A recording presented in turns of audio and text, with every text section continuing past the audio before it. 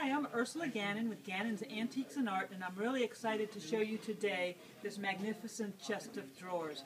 I like it for lots of reasons, but uh, I like the nice, long, tall chest of drawers. It's eight drawers.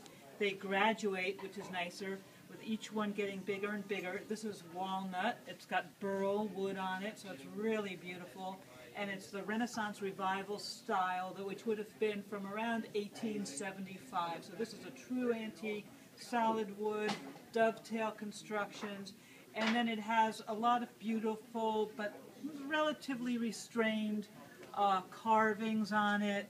It's really beautiful piece, and of course, it's topped off with the nice white marble that's beveled as well. So everything here, just as, as a chest of drawers, is really a beautiful, handsome piece for any home.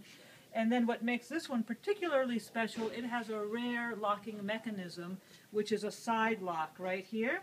It's also called a corner lock.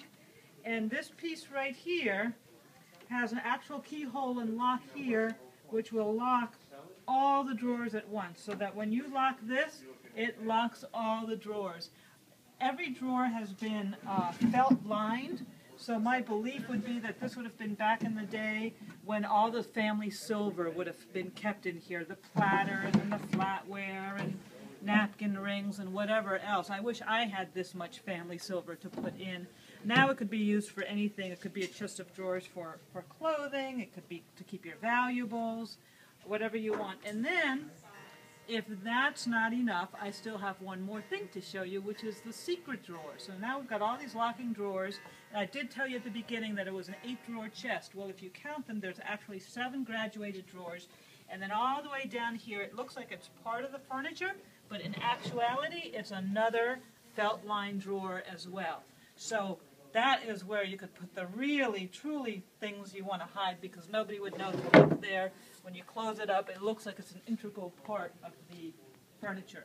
We're always looking for fabulous antiques. If you have antiques that you'd like to sell, we would love to hear from you. You can contact us on our website, gannonsantiques.com. You can come to our store in Fort Myers, Florida, 20,000 square feet of amazing treasures.